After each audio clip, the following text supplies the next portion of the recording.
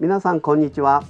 竹ちゃん先生こと武田幸男です、えー、皆さん金沢というとどんな印象を持ってますか、えー、金沢は歴史文化のあふれたところ古い町の並みの残っているところという感じでまあ京都と金沢この2つの都市はそのようなイメージを持ってるだろうと思います。ではなんで金沢はそのように古い歴史的な建物が残ってるんでしょうか？それは第二次世界大戦の時に空襲に合わなかったからです。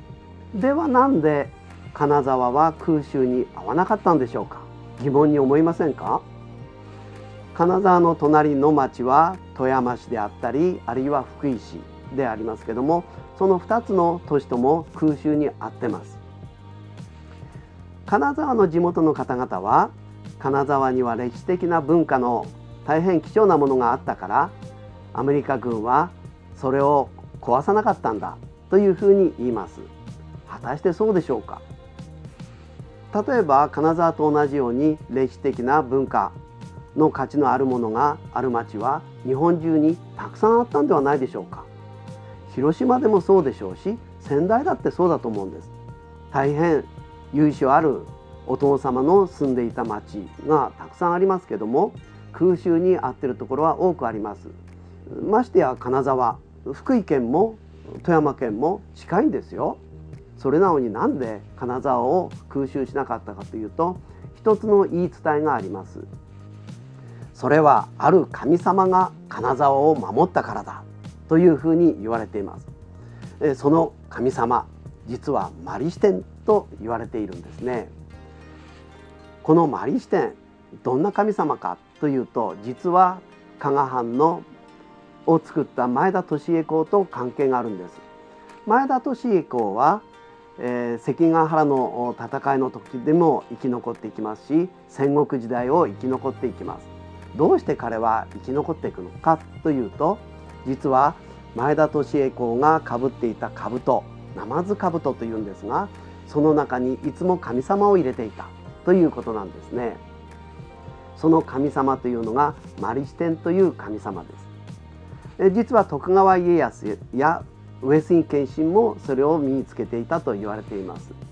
ではそのマリシテンって何かっていうと敵から自分の体が見えなくなる。自分は陽炎のようになってますので敵が見えない。つまり敵は私をやっつけることができない。といったような理屈になるんですね。で大変強い神様です。しかし彼が持っているのはうちわ。うちわでドーンと風を吹くとみんな飛んでいってしまう壊れてしまうということです。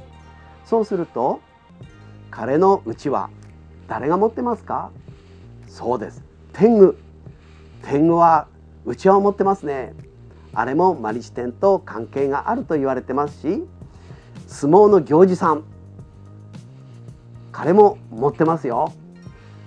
彼らは何をやるかっていうといざという時の勝負を決める時。あのうちわで決めるといったような大変素晴らしい力を持ったものというふうに言われています。さあそのマリシテン。実は、えー、金沢城からよく見えるところ同じ高さのところにあるんですけども多分皆さん方が兼六園といった大変有名なお庭に行った時に一番初めに見えるようなお寺です。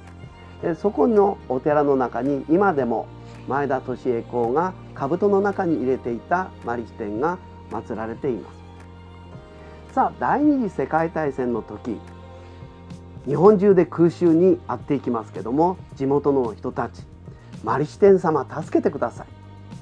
それで金沢を消してください。敵から見えなくしてください。そのためにはマリシテン様の力によって金沢を陽炎のように敵から見えなくすることが重要だ。